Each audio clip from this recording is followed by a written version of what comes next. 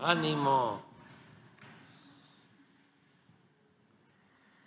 Bueno, el día de hoy eh, vamos a presentarles el avance, ya prácticamente se está terminando todo el trabajo que se ha realizado en el bosque de Chapultepec y la ampliación, lo que se incluyó, siéntese, por favor, este, lo que se incluyó después de la tercera sección, en el terreno que era de la Secretaría de la Defensa, donde estaba la fábrica de pólvora histórica en Santa Fe, todo ese terreno eh, era de la Secretaría de Defensa.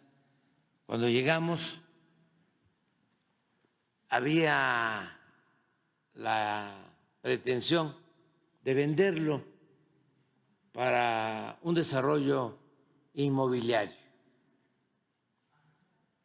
Y eh, se detuvo esa eh, venta, ya habían hecho incluso hasta un avalúo, ya habían aspirantes a quedarse con ese terreno eh, y se decidió eh, aportarlo para hacer más grande Chapultepec, eh, integrar lo que podemos llamar la cuarta sección y se llevó a cabo pues la rehabilitación de toda esta área eh, y de todo Chapultepec.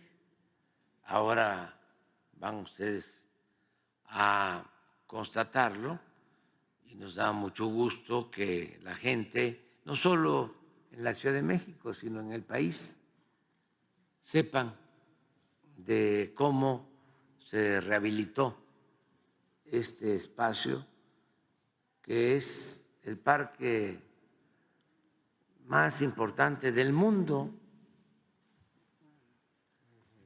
por todo lo que significa en lo cultural, en lo histórico, eh, incluso por la superficie que tiene de árboles, cómo se han conservado, ahora se procuró eso de manera muy especial por la intervención de el creativo Gabriel Orozco, que ha ayudado mucho en el concepto, en la definición de cómo debe contemplarse toda esta área.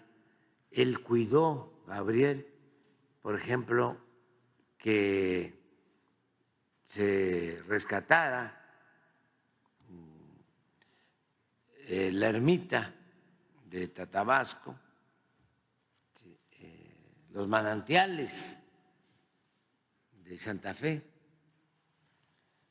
y todo eso se cuidó y ahora pues va a ser un espacio para el disfrute de todos.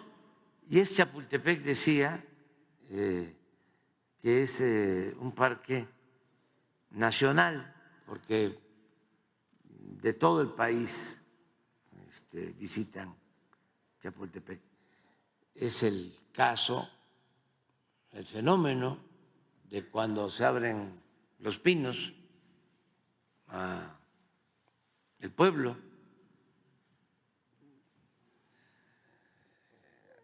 ahora van a informarles sobre los visitantes, miles de visitantes de todo el país eh, a, los, a los pinos. Y hemos trabajado de manera conjunta, gobierno federal, el gobierno de la ciudad, pues está aquí el jefe de gobierno, eh, y es un equipo, la Secretaría de Cultura, eh, hablaba yo de eh, Gabriel Orozco, también nos ha ayudado mucho la Secretaría de la Defensa, bueno, es quien otorga los terrenos. Y hay algo también que debe de subrayarse, que es un distintivo, que todas las colonias populares del bosque de Chapultepec, que no estaban integradas, porque cuando hablamos de Chapultepec siempre pensamos en las lomas,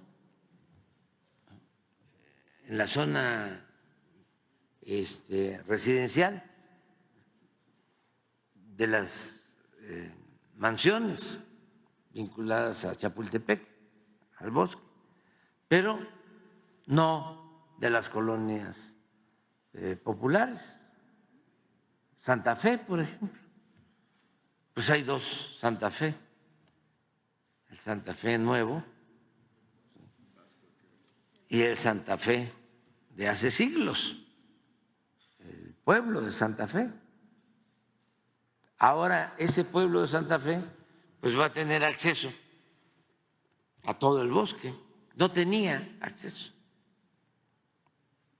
Y esto se va a complementar con obras de movilidad o de transporte, porque ahí en Santa Fe va a haber una estación del tren, del insurgente.